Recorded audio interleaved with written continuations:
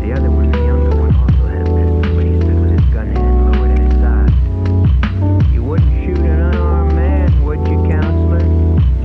Don't kid yourself. Know what it's like now, don't you, Marty? Blood for blood.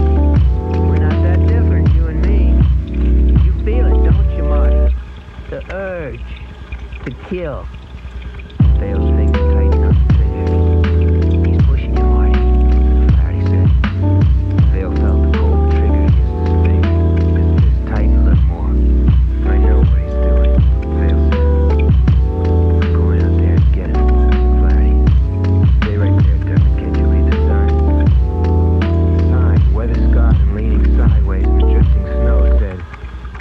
danger.